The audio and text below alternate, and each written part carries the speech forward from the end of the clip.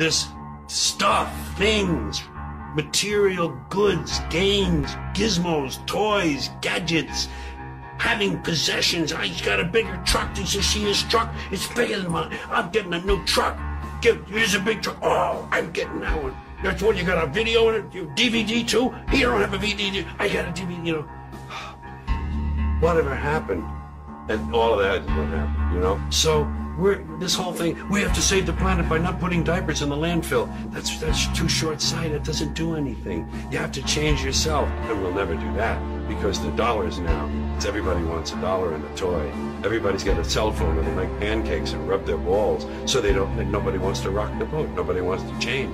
Don't change anything. And we're we're in a nice downward glide. I think we squandered the great gifts.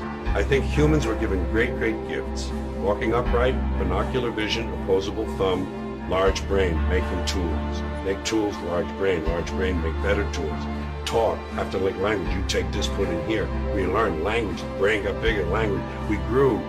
We had great gifts. And I would admit that somewhere underneath all of this, there's a little flicker of a flame of idealism that would love to see it all change.